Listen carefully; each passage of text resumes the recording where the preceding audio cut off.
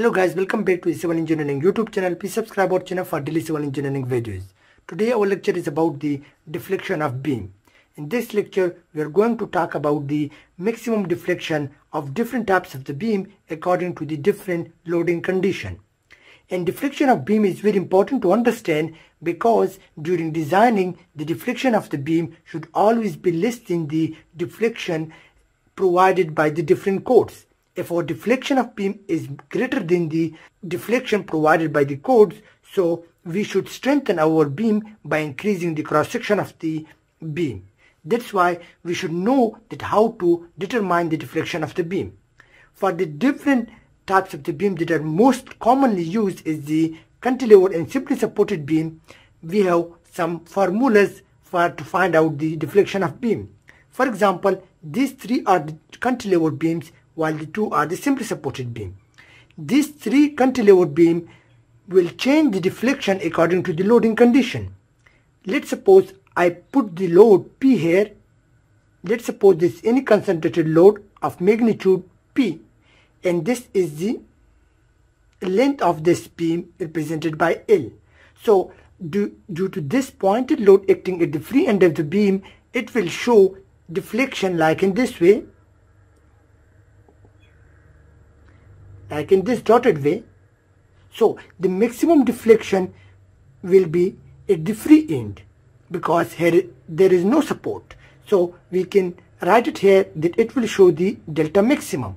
So the delta maximum for such beam when it is cantilever beam and the load is acting only at the end of the beam at the free end of the beam so the maximum deflection for such type of the beam will be PL cube divided by 3EI. Now what are these terms? P is the load acting on this beam. We can put the magnitude of P here in this formula. The length L is the length of this beam, the total length of the cantilever beam and to the power of cube dividing by 3 which is a factor and E is the elasticity of this beam either it is a steel beam or concrete beam according to this we should put the elasticity of the beam and I is the moment of inertia of this beam. If this beam let's suppose is a rectangular beam then we should know this the width and this is the height of the beam.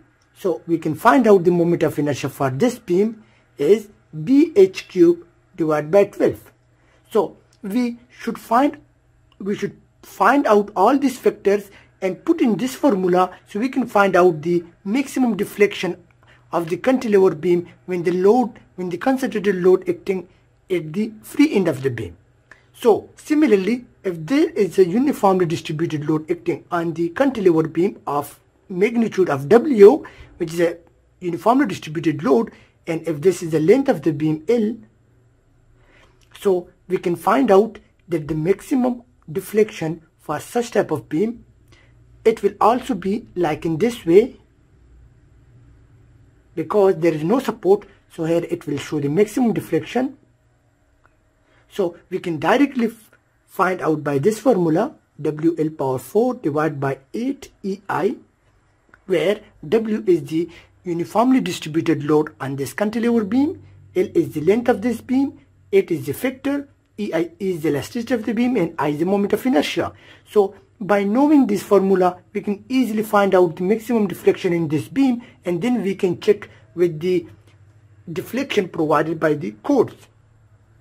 The third cantilever beam, when the load acts at any distance of P, let's suppose this is the magnitude of P load acting on this cantilever beam and this load acts at a distance of A and this total length is L.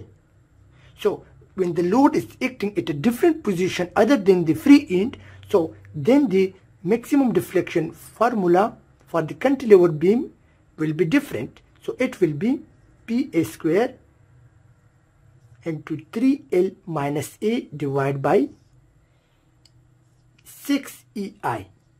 It is very simple. We just know the magnitude of the load P acting on this beam the A is the distance from the left end to the point where the load is acting. L is the total length of this cantilever beam. A is again the distance, this distance, and these are the same factors. So by putting all these values into this formula, we can find the maximum deflection for this cantilever beam when the load is acting at a different position other than the free end.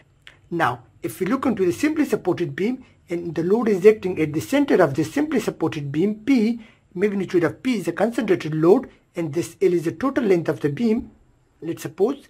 So, it will show the maximum deflection at the middle. This will be the maximum deflection for this beam. So, this maximum deflection we can find out for the simply supported beam by this formula PL cube divided by 48 EI. Similarly, P is the concentrated load acting at the center of this beam. This load should always be acting at the center of the beam because this formula is derived for the load acting at the center of the simply supported beam. L is the total length, 48 is a factor, in EI is, are the geometric properties of this cantilever of this simply supported beam. So by this formula we can find out the maximum deflection which will be at the center of the simply supported beam. Now when the same beam is loaded by uniformly distributed load of W, so now it will also show maximum deflection at the midspan of the beam here. But now the formula for such type of beam with a uniformly distributed load will be 5 WL power 4 dividing by 384 into EI. So this EI is constant in all these formulas but only we should remember these factors. These factors are mostly changing in each formula. So this, this is the way how to find out the maximum deflection for different types of the beam according to the different loading condition. While these five are very important in our daily use. For other types of beam, we should derive the formula for the maximum deflection. And I will also show you that how we derive these formulas for each type of beam, but not in this lecture. I will upload a separate lecture for this to find out the deflection of beam for any type of loading in it, any type of the beam. Hope you guys understand and don't forget to subscribe our channel for daily civil engineering videos. Thank you for watching our video.